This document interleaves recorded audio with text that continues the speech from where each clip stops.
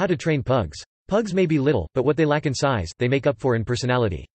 They are fun-loving, loyal, and affectionate dogs that love to make their owners smile. 1 2 Pugs are also intelligent but can have a stubborn side, which could make training your pug a challenge. 3 Training your pug should begin as soon as you bring him home, so don't delay in helping your pug become a well-behaved member of your family. 4 Crate training your pug.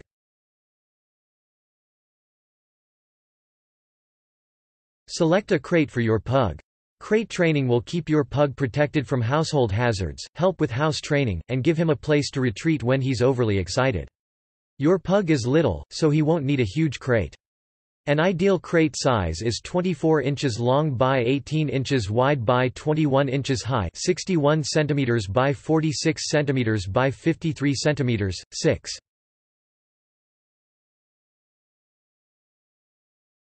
Encourage your pug to spend time in the crate. Your pug's crate should be a place of safety and comfort for him. Add some creature comforts to the crate, including favorite toys and a comfortable blanket. Place a blanket on top of the crate so it feels like a cozy den to your pug.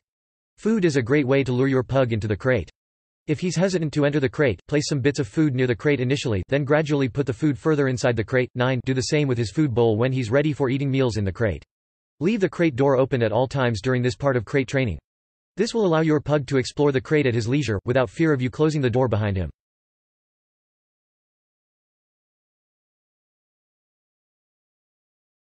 Close the crate door at meal time.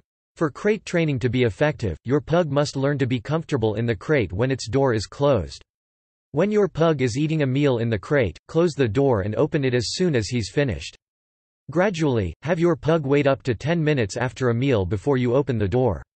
If he whines, wait until he quiets down before opening the door.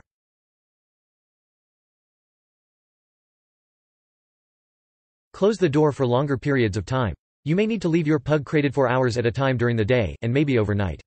To get him used to this stretch of time, give your pug a verbal command kennel up or crate to enter the crate not at meal time. Sit with him briefly, leave the room for a few minutes, then return to the crate. Work up to leaving the room for 30 minutes. It may take several repetitions before your pug learns the verbal command to enter the crate. Reward him with a treat each time he responds to it correctly. Practice leaving the house when you crate him. Do not get your pug worked up when you leave home or return, this could build up a lot of anxiety and anticipation in your pug. 12. Don't forget to take your pug outside to potty during crate training. This is especially important for puppies, since they can't hold their bladders for very long month of age plus 1 hour 13.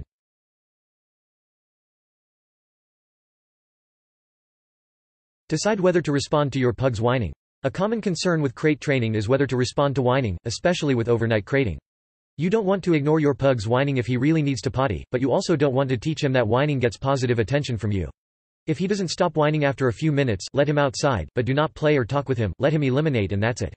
If your pug is whining just to get attention, he'll stop whining after he realizes it's not working. Just be prepared for the whining to get worse before it gets better.